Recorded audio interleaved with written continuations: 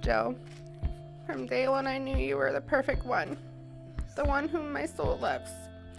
From Facebook chats at 2 a.m., getting to know each other, to our first 30 minute traveling speed date to the McDonald's drive through, to pumpkin hunting with a cranky child, to holding my hand through brain surgery and telling me I'm gonna be okay when I was scared that I wouldn't wake up to see you or our family again. We've truly been through things designed to break us in two, and it's only brought us closer to being one.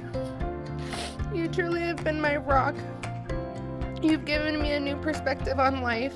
You've taught me to breathe and take every day as it comes, to be strong in my own skin.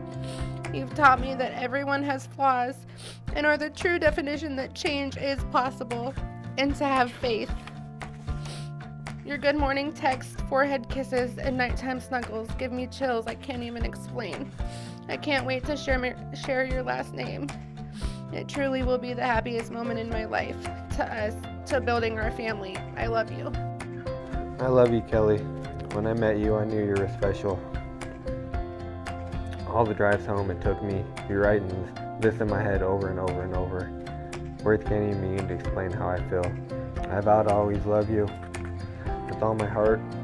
I vow to love you for the rest of my life and do anything I can to see you make you smile. I vow to always watch you shimmy up your pants when you're getting ready in front of your dresser closet. I vow to love and cherish you all the little moments we have, whether good or bad, hopefully more good.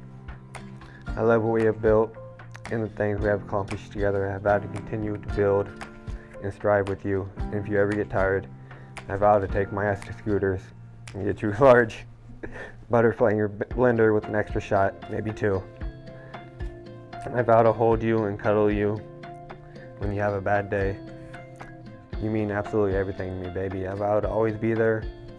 Even when you're mad or upset, I vow to always love you. Love Jackson like the way you do Legend.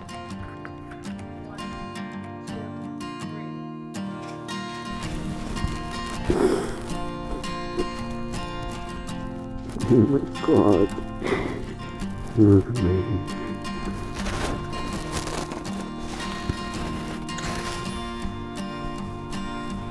Ready?